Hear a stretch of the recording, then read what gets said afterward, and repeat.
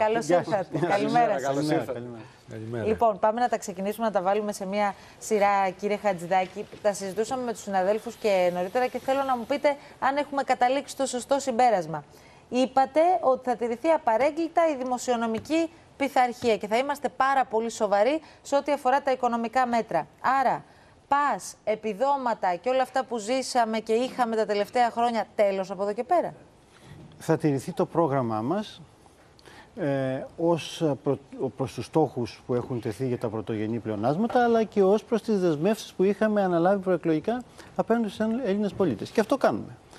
Διότι ήδη έχουμε νομοθετήσει και έχει ξεκινήσει να εφαρμόζεται ή θα εφαρμοστεί από 1η Πρώτου 24 το 50% του οικονομικού μας προγράμματος από πλευράς ε, προϋπολογισμού. Το κάναμε ένα μήνα μόλις αναλάβαμε. Ε, αλλά και τώρα ανακοινώσαμε επιπρόσθετες πρωτοβουλίες στο επίπεδο που μιλάτε, ε, αυτά δηλαδή που θεωρούνται ας πούμε παροχές, να το πω έτσι. Έτσι, την επιταγή ακρίβειας στη φάγατα, ας πούμε. Έχουμε ε, το επίδομα θέρμανσης, έχουμε την επιστροφή του ειδικού φόρου κατανάλωσης στους αγρότες, έχουμε την αύξηση 8% του ελάχιστου ε, εισοδήματος αλληλεγγύης, έχουμε την αύξηση των συντάξεων, έχουμε το επίδομα της προσωπικής διαφοράς. Κομμένο. Ο, όλα αυτά... Να το λέμε όλο, κύριε Με Συγχωρείτε, Χατζηδάκη. αν ήταν στα περσινά επίπεδα, αυτοί, σε κάποιες περιπτώσεις, σε κάποιες περιπτώσεις, αυτοί που έχουν προσωπική διαφορά θα έπαιρναν παραπάνω αύξηση από αυτούς που δεν έχουν. Επομένως δεν ξέρω ποιος θέλει να βγει και να το υποστηρίξει αυτό. Όποιος θέλει ας το πει. Στην πλειονότητα των συνταξιούχων ότι αυτοί που έχουν προσωπική διαφορά θα έπρεπε να πάρουν μεγαλύτερη αύξηση. Όχι, επειδή δεν, δεν το κατάλαβα. Πέρυσι δόθηκε σε κλίμακα από 200 έως 300 Ναι, ευρώ. γιατί οι αυξήσεις Φέτος πέρσι. οι κλίμακες είναι γιατί οι διαφορετικές. αυξήσεις πέρσι, επειδή ήταν μεγαλύτερος ο πληθωρισμός, ήταν και μεγαλύτερες. Οι κανονικές αυξήσεις. Λέτε ότι είναι ένα ποσό είναι, αντιστρόφως είναι ανάλογα προσαρμοσμένες οι αυξήσεις, το επίδομα της προσωπικής διαφοράς στις ε, νέες αυξήσεις που δίνονται φέτος. Είπατε ότι στόχος της ε, κυβέρνησης και του οικονομικού επιτελείου και, το, δι- και ο δικός σας είναι να αυξηθεί με έναν τρόπο το εισόδημα των ε, πολιτών.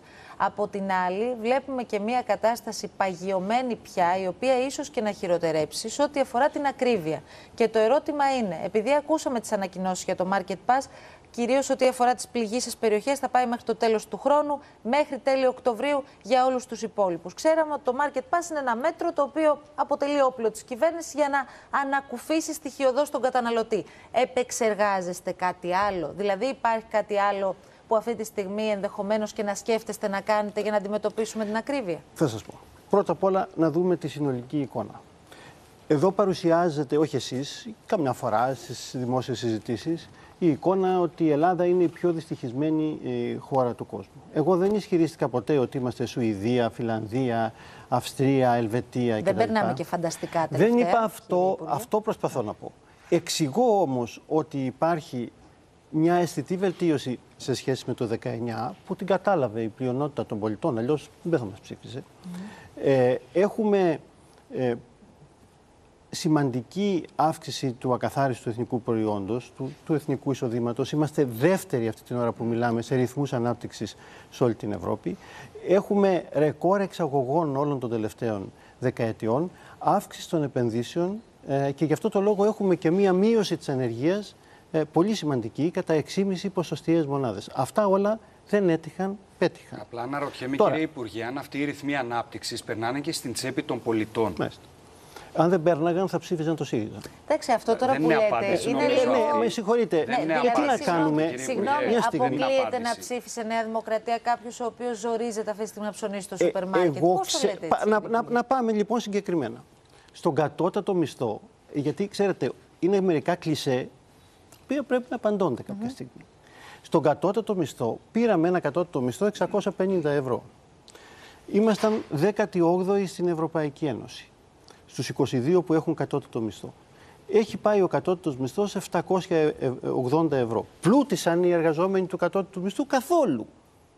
Αλλά πάντως από 18η που ήμασταν στην Ευρωπαϊκή Ένωση, σε αυτό το επίπεδο, είμαστε 13η. Αυτό θα Ναι, μας όχι έκανε σε σύγκριση ευτυχείς. όμως και με Α- την ακρίβεια κιόλας Αυτό που θα μας υπάρχει στην έκανε αγορά, ευτυχεί έτσι. στην περίπτωση που αυτά τα 130 ευρώ, η διαφορά η οποία είναι εξαιρετικά σημαντική και Σαφώς, συμφωνούμε ναι. όλοι, δεν έφευγαν σε αυξημένες Πάμε να τιμές δούμε στην λοιπόν αγορά. και σε αυτό το επίπεδο.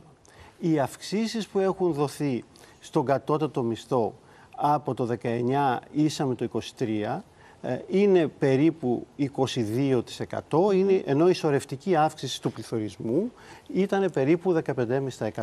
Έχουμε 5-6 μονάδες διαφορά υπέρ του κατώτατου μισθού. Άρα δόθηκαν παραπάνω αυξήσεις ε, ε, για τον κατώτατο μισθό από ό,τι δόθηκαν και τώρα στους δημοσίους υπαλλήλους επίσης από 1η πρώτου του, 10, του 24 δίνονται αυξήσεις μετά από 14 χρόνια. Άρα δεν χρειάζονται οι οποίες παρεμβάσεις αυξήσεις, για την ακρίβεια, θα σας κύριε πω, Χατζηδάκη. Οι, Γιατί οι άλλο οποίες ρωτήσαμε. αυξήσεις, θα σας πω, θα σας πω. Οι οποίες αυξήσεις είναι 1.476 ευρώ μέσω σταθμικά για κάθε δημόσιο υπάλληλο το χρόνο. Ο πληθωρισμός στα τρόφιμα πόσο είναι, Χριστίνα. Λοιπόν, πάμε να δούμε και αυτά. Ο, συ- ο, ο πληθωρισμός, πρώτα απ' όλα το είπα και χτες στους συναδέλφους σας.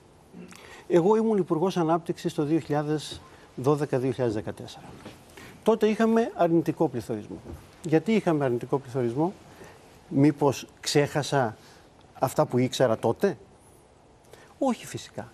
Διότι ήταν άλλος ο κύκλος της ελληνικής και κυρίως της παγκόσμιας οικονομίας. Στην παγκόσμια οικονομία μεσολάβησε ο κορονοϊός με τις επιπτώσεις του στην προσφορά και τη ζήτηση και ήρθε και η ενεργειακή κρίση στη συνέχεια. Αυτό όθησε σε όλο τον κόσμο και φυσικά σε όλη την Ευρώπη τις τιμές προς τα πάνω. Τα πράγματα σε σχέση με πέρσι σε μια σειρά από υπηρεσίες είναι βελτιωμένα. Και γι' αυτό και ο πληθωρισμός συνολικά ε, στην Ευρώπη και στην Ελλάδα είναι πιο κάτω από πέρσι. Στη ΔΕ Ελλάδα είναι αρκετά κάτω από το μέσο όρο της Τώρα Ευρωπαϊκής όμως Ένωσης. είχαμε και μια θεομηνία, κύριε Πάμε, Υπουργέ, λοιπόν, και στα τρόφιμα. που επίσης οι ελλείψεις που παρατηρούνται στην αγορά Θα σας ήδη πω και για τη θεομηνία, θα αλλά να εκτινάξουν κλείσω. τις τιμές ακόμη περισσότερο Μια στα στιγμή, ύψη. να Μέχρι κλείσω. στιγμής, ακούγοντάς σας πάντως, ακούω ότι όλα είναι εντάξει.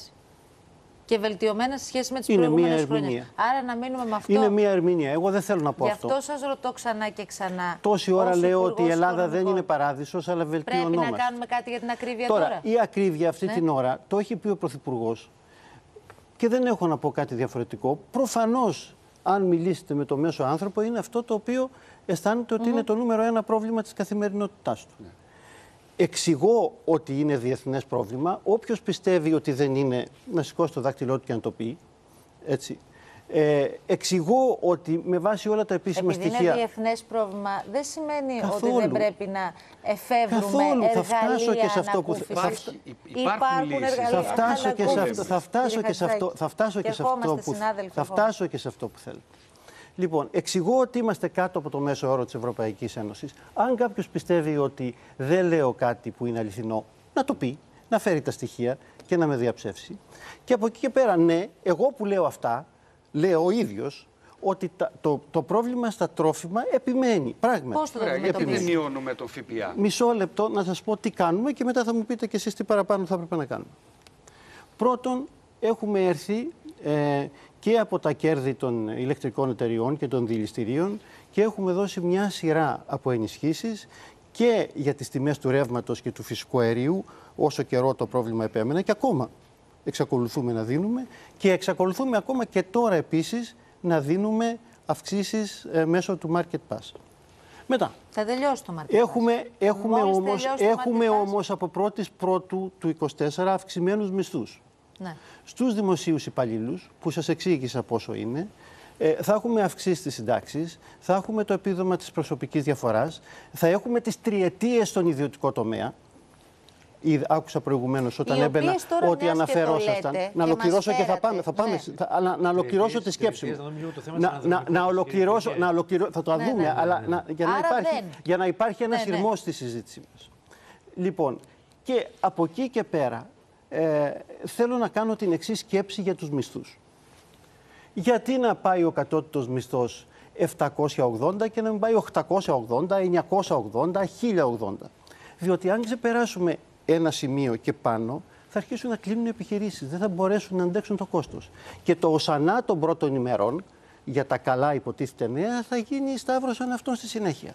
Γιατί οι δημόσιοι υπάλληλοι να πάρουν 1.476 ευρώ το χρόνο μεσοσταθμικά και να μην πάρουν 5.000 μεσοσταθμικά. Διότι τα λεφτά αυτά θα τα βρούμε από τους φορολογούμενους. Μάλιστα. Δεν φέρνουμε τα λεφτά από το σπίτι. Άρα, Καταλαβαίνετε, κύριε δεν Κουτσάκη, υπάρχει. για να Θέλω να πω το καταλήγουμε εξής, κάπου. κοντολογής. Όχι, πρέπει και κάπου να Ότι καταλήγουμε. παίρνουμε μέτρα αντίστοιχα με τις άλλες χώρες της Ευρωπαϊκής Ένωσης, αλλά δεν υπάρχει κάποια μαγική κομμολάστιχα πουθενά Ναι, να εγώ διαγράφει τις καταλαβαίνω διεθνείς πάντως κρίσεις και τις συνέπειε τους. και, ε, Αυτό λέω. δε- και να σας βεβαίως πω, γίνονται και κύριε έλεγχοι από Χατζάκη. τη Δημαία.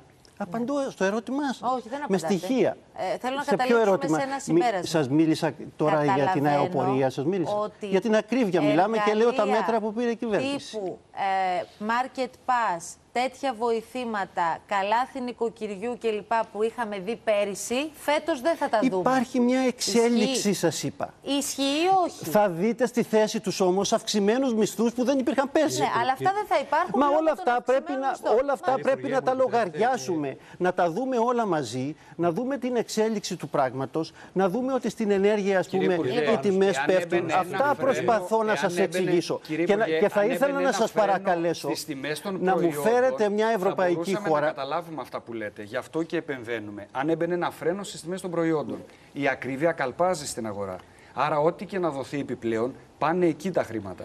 Σας εξήγησα, είναι τι, το σας θέμα. εξήγησα τι δίνεται. Και σας είπα ότι αν δινόταν παραπάνω χρήματα, θα, θα έπρεπε να φορολογήσουμε. Θα πρέπει να κάνουμε δύο πράγματα. Είτε να φορολογήσουμε παραπάνω όλους αυτούς που μας βλέπουν, διότι τα λεφτά που έχουμε εμείς στο δημόσιο έρχονται από τους φορολογούμενους, είτε να επιβαρύνουμε υπερβολικά τις επιχειρήσεις και να αρχίσουν να κλείνουν. Μάλιστα. Σε όλη, την Ερωτήσεις από Ευρώπη, τους σε όλη συναδέλφους. την Ευρώπη αυτή είναι η Κύριε κατάσταση. Χατζηδάκη. Και επιχειρούνται, επιχειρείται παντού να βρεθούν ζυγισμένες Είμαστε πέντε λύσεις. και θέλουμε να κάνουμε Πάνω ερωτήσεις, σε αυτό, κύριε μια ερώτηση θα κάνω. Χατζηδάκη. Μια ερώτηση θα Έλα, κάνω, Άρη. κύριε Υπουργέ. επειδή Τα σας άκουσα και χθες αναλυτικά ε, και έχω μια πορεία. Και θέλω να μου τη λύσετε τώρα, αφού είμαστε και εδώ. Ε, λέτε για τη φορολογία για τις επιχειρήσεις ε, θα φο- ε, και δεν πρέπει να φορολογηθούν αυτοί οι οποίοι μας ακούν κτλ. Φορολογία ε, ελεύθερων επαγγελματιών. Αύξηση φορολογικών συντελεστών. Το βλέπουμε μπροστά μας. Έρχεται; Και γιατί, αν έρθει; Εκείνο το οποίο... Γιατί είναι μια μεγάλη συζήτηση, γιατί είπατε πριν, σας ψήφισαν και δεν ψήφισαν το ΣΥΡΙΖΑ και θυ- θυμάστε ότι και ο ΣΥΡΙΖΑ καταψηφίστηκε για τη φορο- υπερφορολόγηση της μεσαίας τάξης και βεβαίως και τη φορολόγηση των ελεύθερων επαγγελματιών. Εμείς έχουμε ρίξει τους φόρους, το ξέρετε. Αυτό υπάρχει, υπήρχε αυτό. Όχι, δεν το είναι αφαιρεί- δεδο- αφαιρεί δεδομένο. κανένας. Δεν νομίζω τον αμφισβητεί Δεν το αμφισβητεί κανένας αυτό. Και, και τον Από εδώ και έμφυα πέρα ρίξαμε λέμε. και τους φόρους νομικών προσώπων ρίξαμε και άλλες παρεμβάσεις πολλές κάναμε στο επίπεδο της φορολογίας. Εκείνο το οποίο έχουμε πει είναι ότι σε αυτή την τετραετία θα, δώσουμε, θα κάνουμε μια ιδιαίτερη προσπάθεια για την αντιμετώπιση περαιτέρω της ε, φοροδιαφυγής.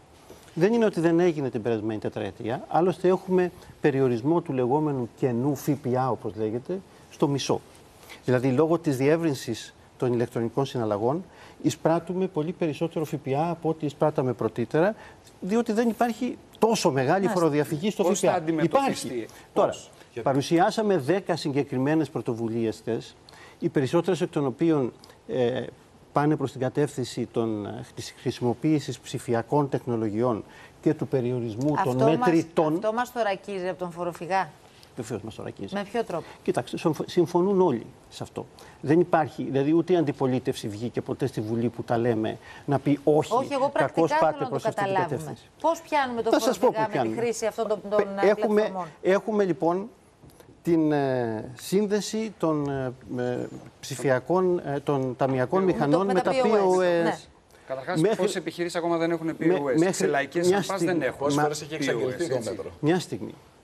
Έχουμε πει ότι θα, είναι, θα ολοκληρωθεί η σύνδεση των ταμιακών μηχανών με τα POS στις αρχές του επόμενου χρόνου. Εδώ θα είμαστε. Εγώ ό,τι έχω πει μέχρι τώρα, καλά κακά, μπορεί κάποιος να με θεωρεί νεοφιλελεύθερο, δεξιό, οτιδήποτε, εν πάση περιπτώσει. Αλλά ό,τι έχω πει τα έχω κάνει. Το δεξιό το λέτε για κακό. Όχι, λέω ότι. τι, τι μπορώ. Έτσι που γίναμε υπουργέ, έτσι που γίναμε υπουργέ Λέω, τώρα. λέω τι ακούω κατά καιρούς. Είναι λίγο χυλός Λοιπόν, τώρα. εν πάση περιπτώσει, για μένα, Ναι. όπως ήμουν προσιλωμένος στις συντάξεις, όπως ήμουν προσιλωμένος στην ε, διάσωση της ΔΕΗ, όπως ήμουν προσιλωμένος στην αντιμετώπιση του θέματος της Ολυμπιακής και τώρα κρίσιμο Πάντως με αυτό την που λέει ο ίδια Νίκος, στόχο κύριε Υπουργέ, προσήλωση. Πόσα χρόνια τα ακούμε αυτά, δεν έχει άδικο. στο Όταν πρόγραμμα ακούς της τους Δημοκρατίας, 10 Πες τον Νίκο, σήμερα, πες Και εγώ για το να είπα δούμε. ότι τα ακούμε, 10.000 αλλά δεν σας εισόδημα. Είπα ότι θα συνδεθούν οι ταμιακές μηχανές μετά από Εγώ πέντε θέλω να τέρμινα. κάνω Ρώτα το, γιατί πρέπει να Σας πάμε είπα και ότι σε θα άλλα. συνδεθούν με, με ένα, σα- Ναι, αλλά σε δεν ένα είναι η πρώτη συγκεκριμένο. φορά που τα ακούμε. Πάντως, Πιάστε με, άκουσε. γιατί πάμε από ένα θέμα στο άλλο. Οι- οι να φορολογικοί καταλάβει ο συντελεστές, κόσμος. Θα πάω και σε αυτό. Έρχομαι αμέσως. Λοιπόν, θα συνδεθούν λοιπόν μέχρι τις αρχές του χρόνου. Μέχρι Μα τώρα. θα πάτε όλα με πολύ μεγάλο πρόλογο, κύριε Χατζάκη, και δεν προλάβουμε να σας τα Εντάξει, ρωτήσουμε τι να όλα. κάνω, Ελάτε. είναι Και ένας πρέπει να ολόκληρος μιλήσουμε τομέας. λίγο για τη Εάν Θεσσαλία, θέλετε ως- να κάνετε να μην ερωτήσεις παραλείψουμε. χωρίς να απαντήσω, δεν μου είναι κανένα δεν γίνεται πρόβλημα. να μην κάνουμε Όχι, ερωτήσεις, θέλω κύριε να πω να κάνετε, αλλά πρέπει και εγώ να Έλα. απαντήσω. Ένα πλαίσιο. Διότι Πάμε, ε, πάμε. κάπως και ο κόσμος περιμένει, είτε με συμπαθεί είτε δεν με συμπαθεί, να δει αν έχω καμιά απάντηση. την σε αυτό ακρίβεια που εγώ θέλω λέτε. να ρωτήσω κάτι. Λοιπόν, ε, να το Να, πάμε. να σε άλλο τελειώσει θέμα. αυτό και πάμε στην ακρίβεια Λοιπόν, αμέσως μετά. όταν θα συνδεθούν λοιπόν οι ταμιακές μηχανές με τα POS, κλείνουν διάφορες σημαντικές τρύπες στη φοροδιαφυγή και προσδοκούμε ότι από αυτό το πράγμα θα έχουμε παραπάνω έσοδα, αλλά κυρίως θα σταλεί και ένα μήνυμα κοινωνικής δικαιοσύνης. Διότι ο ΦΠΑ δεν είναι αυτού που τον παρακρατεί. Ο ΦΠΑ είναι του Μάλιστα. κράτους, δηλαδή στο τέλος πρέπει να πάει για κοινωνικές το, σύντομα, Νίκο. παροχέ. ΦΠΑ και Και θα- για τους ελεύθερους επαγγελματίες θέλω να πω ότι ναι, μελετούμε το έχω πει δημόσια, ένα νέο σύστημα δίκαιας φορολόγησης, γιατί δεν είναι σωστό ένα πολύ μεγάλο ποσοστό ελεύθερων επαγγελματιών να δηλώνει ότι ζει ε, με ε, χρήματα που είναι κάτω από τον Όταν κατώτατο λέτε μισθό. δίκαιης φορολόγησης, Όταν γιατί λέμε ποσοστά, δίκαιας γιατί φορολόγησης, ε, θα το, φορολόγηση θα το μιλάμε. δείτε σε μερικούς μήνες που θα παρουσιάσουμε το σύστημα. Από πότε το δηλαδή θα μελετούμε. αρχίσει αυτό να Δεν μπορώ να σας πω από πότε, διότι σας λέω είμαστε στη φάση της μελέτης. Προτάσουμε τώρα τα 10 μέτρα που σας είπα προηγουμένως, έτσι, ε, όχι μετρητά στις συναλλαγές ακινήτων, Ωραία, τα παρουσιάσαμε και ψηφιακά, πριν ε, αναλυτικά. ηλεκτρονικά Ωραία. τιμολόγια κτλ. Έλα, Νίκο. Εγώ Και ακούω μετά- τον Υπουργό που λέει για το παγκόσμιο πρόβλημα σε σχέση με, την, με τις πρώτες ύλες, ε, τις, ε, την ακρίβεια. Ωστόσο, οι ανακοινώσεις της κυβέρνησης σε σχέση με τις αυξήσεις των εισοδημάτων κινδυνεύουν να οργανιστούν από την ακρίβεια. Ο ΙΕΛΚΑ χθες έβγαλε μια έρευνα πολύ ενδεικτική, η οποία έχει να κάνει με 5.000 προϊόντα στα σούπερ μάρκετ 6 ευρωπαϊκών χωρών και το αποτέλεσμα που βγαίνει είναι ότι ο χαμηλός συντελεστής του ΦΠΑ στα τρόφιμα στην Ελλάδα είναι πολύ παραπάνω από αυτές τις χώρες με αποτέλεσμα να έχουμε επιπλέον αύξηση των τιμών. Για το θέμα του ΦΠΑ η κυβέρνηση αρνείται να το μειώσει. Και εδώ τα στοιχεία δείχνουν ότι αν μειωθεί ο ΦΠΑ όχι περισσότερο από όσο οι υπόλοιπες χώρες, στα όρια, γιατί βλέπουμε ότι στην Ελλάδα είναι 13%, στο Ηνωμένο Βασίλειο 0 έως 5, στη Γαλλία 10 έως Άρα το 5,5. ΙΕΛΚΑ έχει άλλα στοιχεία από αυτά που μας λέει τώρα ο Εδώ κύριος είναι χθεσινή Χατζηδάκης. έρευνα. Πρέπει να συμφωνήσουμε Λοιπόν, στα Η και στοιχεία. Ελκά δείχνει είναι το εδώ πέρα- Ινστιτούτο γιατί, των συγγνώμη, σούπερ μάρκετ. Των καταναλωτών. Συγγνώμη. Το, το σούπερ μάρκετ. Ναι, σούπερ μάρκετ. Για Το προϊόντα στα σου- σούπερ είναι μάρκετ. η- η Ναι, οργάνωση, ναι, το για τα σου- Ινστιτούτο ναι, των για τα σούπερ μάρκετ, των αυτό. ιδιοκτητών Ο των κόσμος- σούπερ Ναι, ο μάρκετ. κόσμος ψωνίζει στα σούπερ μάρκετ και δείχνει ότι οι τιμές οι οποίοι σου στην λένε, Ελλάδα είναι πολύ οι οποίοι αυξημένες σου λόγω λένε, του τι ΦΠΑ. σου λένε, Για ότι τη βενζίνη, έχουμε για το φόρο φτηνά τα κατανάλωσης. προϊόντα, σου λένε, κύριε Σκρέκα, έχουμε φτηνά τα προϊόντα, εκείνο το οποίο ε, είναι το πρόβλημα είναι ο ΦΠΑ. Εμείς δεν λέμε αυτό. Εμείς λέμε ότι πρέπει να λειτουργήσει καλύτερα ο ανταγωνισμός. στοιχεία εδώ Γι' πέρα. αυτό έχουν υπ- επιβληθεί και Μάλιστα. πρόστιμα Λοιπόν, το τελευταίο να κλείσουμε διάστημα το θέμα και της θα Θεσσαλίας. επιβληθούν, Παρακαλώ. και θα Δεν μπορούμε να επιβληθούν μην και άλλα ρωτήσουμε. Πρέπει να πάμε στη πρόστιμα. Θεσσαλία, Και αυτό, επίσης αυτό. η όποια Κύριε Χατζηδάκη. μείωση Και του τα φαν ΦΠΑ, Μαρία. να το πω κύριε Αναστασοπούλου. Ναι, κύριε Και Χατζηδάκη. η όποια μείωση του ΦΠΑ κινδυνεύει και δεν το έχω πει μόνο εγώ, το έχει πει ο κύριος Τσίπρας στη Βουλή Ναι, να μην όταν περάσει ήταν στον πρωθυπουργός. καταναλωτή. Άρα δεν Να μην λειτουργεί περάσει ελεύθερη στον αγορά. καταναλωτή. Λοιπόν, υποστηρίζει Άρα κύριε ουσιαστικά Χατζηδάκη. θα πάμε Δεν να λειτουργεί ελεύθερη ωφελήσουμε αγορά, ο ενώ θα ανταγωνισμός. κάνουμε στο τέλος ζημιά. Μην μιλάμε όλοι Εδώ μαζί. έρχονται οι ελεγκτικοί μηχανισμοί όμως. Λοιπόν, Αυτό Και να είναι λέω- το Ακριβώς. ελεγκτικό Ε, μα πάω να σας μιλήσω για τους ελεκτικούς μηχανισμούς. Σας το είπα προηγουμένως και με διακόψετε γιατί λέτε δεν Όχι, Όταν μου ενδιαφέρει. λέτε ότι δεν θα περάσει η μείωση του ΦΠΑ στον καταναλωτή. Σας είπα ότι δίνουμε καταναλωτής τι έμφαση λέει; Δεν λειτουργεί η και- αγορά. και Αυτό μέσω παραδέχεται της ο Υπουργός. Επιτροπής Ανταγωνισμού στους ελέγχους. Μα εσείς πρέπει να το, να το κάνετε αυτό, δηλαδή Είπε- να είπε κανένας άλλος θα το κάνει. διασφαλίσετε- Λέω Όχι, όταν- όχι. Λέμε, όταν λέτε ότι αυτό δεν θα περάσει στον καταναλωτή, σημαίνει ότι αποτυγχάνουν οι ελεγκτικοί μηχανισμοί και δεν φτάνει ποτέ η μείωση στον καταναλωτή. Όχι. Λέω ότι κάτι Πώς το όχι; οποίο παρατηρείται διεθνώς, Ναι. διότι προσ- δεν είναι, υπάρχουν εκατοντάδες χιλιάδες επιχειρήσεις. Πας και κάνεις μία μείωση στο ΦΠΑ. Έτσι. Ε, και κατεβάζεις, ξέρω εγώ, το ΦΠΑ από 23, 24%, ξέρω εγώ, δύο μονάδες Ή σε παρακάτω. κάποια προϊόντα. Πέραν του, ότι η μείωση, πέραν του ότι η μείωση θα είναι πάρα πολύ μικρή και άρα ε, ε, ε, όχι πάρα πολύ ορατή Ναι, αλλά αυτό πάει στους, αθρηστικά. στους καταναλωτές, Πάει από εκεί αθρηστικά και στα πέρα προϊόντα. Είναι πάρα πολύ εύκολο σε σε όλες αυτές τις εκατοντάδες επιχειρήσεις να γίνει μια κίνηση προς τα πάνω. Άρα δεν ή ξέρω- λειτουργεί η αγορά, ο ανταγωνισμός. Άρα, Καρτελοποίηση στην άρα αγορά. Αυτό βεβαίως παραδέχεται ο σας Υπουργός. λέω ότι πρέπει σε μια αγορά που υπάρχουν τόσες εκατοντάδες Άρα είναι χιλιάδες στρεβλή αγορά, επιχειρήσεις κύριε να Χατζηδάκη. δει κανείς τους ελέγχους από την πλευρά της αποτελεσματικότητας. Όχι από την πλευρά του Γιούρια. Κάνω ό,τι μου έρθει Όχι. επειδή κάποιος Άρα- μου το λέει. Αν η αγορά και γι' ξέρει αυτό, ότι θα και γίνει γι' αυτό ο ας έλεγχος. πούμε Αγορά, το κύριε Χατζηδάκη. καλοκαίρι. Και θέλω να μου πείτε Λοιπόν, κύριε αν, Χατζηδάκη, εάν αυτή όρος. την ώρα λέω κάτι το οποίο είναι ανακριβές ή όχι. Το καλοκαίρι ήρθαμε με δυο, το Υπουργείο Ανάπτυξης, η Δημαία, με δυο αλλεπάλληλα κύματα ελέγχων σε μεγάλες εμπορικές επιχειρήσεις, πολύ γνωστές, και έβαλε καμπάνες που δεν είναι Ε, τι καθόλου λέμε το συνηθισμένες αυτονόητο στην τώρα; ελληνική Και αγορά. επειδή δεν Δεν είναι λέμε το συνηθισμένο, αυτονόητο. τι Πρέπει να σημαίνει, το κύριε λέω Χατζηδάκη; στους, κατα... στους Όχι, τηλεθεατές. κύριε- Διότι κύριε λέτε, Χατζηδάκη. δεν σας φτάνει η αύξηση Όχι, των κύριε μισθών. Χατζηδάκη, Δεν τώρα σας θα φτάνουν βάλετε οι μια έλεγχοι της τελεία. Δημαία. Όχι, τώρα Δεν θα σας βάλετε φτάνουν μια οι τελεία, έλεγχοι της παρακαλώ. Επιτροπής Θα Ανταγωνισμού. βάλετε κι Της εσείς μια Επιτροπής τελεία, όπως Ανταγωνισμού. βάζουμε όλοι οι συνάδελφοι εδώ Δεν- για να σας ακούσουμε. Ε, Από τη κάποια στιγμή πρέπει να συμφωνήσουμε Όχι, πώς να πρέπει κινηθούμε δείτε και κι να εσείς. δούμε τι Ο γίνεται σε άλλες καταναλωτής- ευρωπαϊκές χώρες. Ο καταναλωτής Να το δεν δούμε μπορεί αυτό. να είναι ικανοποιημένος τώρα ακούγοντας τον Υπουργό Μα δεν Οικονομικών σας που του είπα- λέει ότι ξέρεις Ακούστε. δεν σου μειώνω το ΦΠΑ γιατί πρόσεξε να δεις, εγώ δεν μπορώ να ελέγξω Εγώ όλες θα τις σας ήμουν επιχειρήσεις ευγνώμων, και θα βρεθεί κυρία ο Αναστασοπούλου. απατεώνας ο οποίος θα Εγώ πάει θα και να σας κάνει ήμουν τη λαμπογιά. ευγνώμων και σε εσάς και στους υπάρχουν υπόλοιπους εναρμονισμένες εδώ τιμές, και σε Μαρία. οποιοδήποτε έρθει και μας δώσει αυτό που είπα προηγουμένως. Τις μαγικές γομολάστιχες οι οποίες θα Εντάξει, εξαλείψουν αυτή το είναι εύκολη- πρόβλημα. εύκολη απάντηση Αυτή αυτή, την κύριε ώρα Χατζάκη, σε εύκολη. όλη την Ευρώπη Λοιπόν, υπάρχει αυτό το πρόβλημα. τώρα. Εξηγώ Παιδιά, ότι είσαστε είμαστε τελεία. μεσοσταθμικά Λοιπόν. κάτω από το Κύριε μέσο όρο Χατζάκη. της Ευρωπαϊκής Ένωσης και κινούμαστε σε τρία επίπεδα. διαφορετική Στο επίπεδο των προσέγγιση. επιδομάτων, Πάμε στο τώρα. επίπεδο της αύξησης των μισθών και στο επίπεδο των ελέγχων προκειμένου να Εντάξει, αντιμετωπίσουμε σας το ακούει ο πρόβλημα. κόσμος Θεσσαλία. και κρίνει. Κύριε Έλα, Ανδρέα, Υπουργέ, αν μου Θεσσαλία. επιτρέπετε, πέρα από όλα αυτά που είναι εκ- πολύ σοβαρά ζητήματα και πρέπει να εξηγηθούν, ε, για καιρό τώρα έχουμε την τεράστια καταστροφή στη Θεσσαλία. Σοβεί ένα, ε, έχει επηρεαστεί μια αγορά 800.000 Ελλήνων.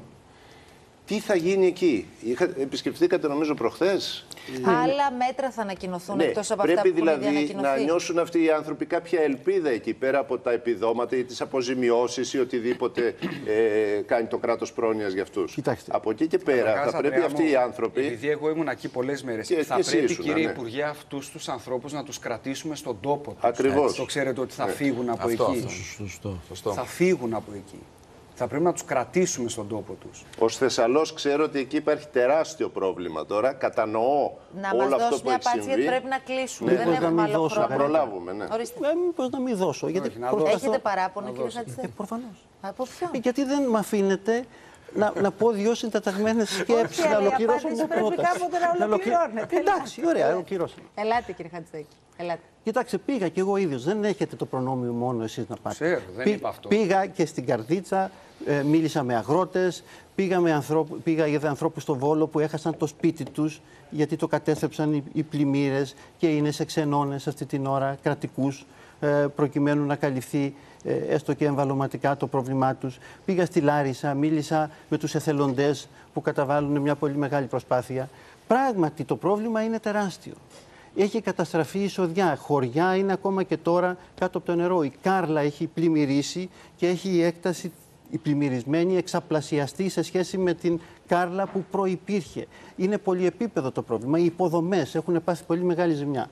Έχουμε συμφωνήσει με την Ευρωπαϊκή Ένωση να χρησιμοποιήσουμε είτε καινούρια χρήματα, είτε χρήματα από ευελιξίες του ΕΣΠΑ και του Ταμείου Ανάκαμψης, ε, χρήματα Που της προορίζονταν τάξεως... για άλλους σκοπούς, της- της δηλαδή. χρήμα- Προορίζονταν. Τώρα, αν δεν θέλετε να τα δώσουμε εκεί και να τα δώσουμε στους προηγούμενους Δεν το παίρνετε όλα σκοπούς... Θέλουμε, προσωπικά. θέλουμε, Ρωτάμε, αυτή είναι η δουλειά μας, κύριε Λοιπόν, Χατζάκη. λοιπόν, εκείνο το οποίο λοιπόν θα κάνουμε θα είναι ε, να δώσουμε ε, εκεί μία α, στήριξη, πιστεύω ουσιαστική. Ήδη όμως, ανεξάρτητα από τους κοινοτικούς πόρους, ψηφίζουμε συμπληρωματικό προϋπολογισμό ύψους 600 εκατομμυρίων ευρώ για τις άμεσες ανάγκες μέχρι τα Χριστούγεννα και προφανώς η ανασύνταξη της Θεσσαλίας και των πληγισών περιοχών είναι βασική προτεραιότητα της κυβέρνησης, δεν κομπάζουμε γι' αυτό. Ναι, γιατί αυτά τα είναι 600, το καθήκον μας, το ξέρετε κι όπως, εσείς ότι όπως δεν δεν φτάνουν, κομπάζουμε κύριε για Υπουργέ. τίποτα. Για τίποτα δεν κομπάζουμε. Άρα- Προσπαθούμε να κάνουμε τη δουλειά μας Άρα θα μακριά από το ακολουθήσει, λαϊκισμό, μακριά Χατζάκη, από ε, θα κλισέ ακολουθήσει συνηθισμένα και της δεύτερη πολιτικής δέσμη με έμφαση μέτρων. στην αποτελεσματικότητα. Ξέρετε, οι ερωτήσεις ε, που ε, κάνουμε Θα κα- έχουν να κάνουν και θα με αυτά που ρωτάει και ο κάνουμε- κόσμος και αυτό θα δεν είναι κάνουμε λαϊκισμός, κύριε οτιδήποτε Χατζηδάκη. χρειαστεί. Ναι, άρα και δεύτερη δέσμη μέτρων μπορεί να θα έρθει. κάνουμε, σας είπα, οτιδήποτε χρειαστεί.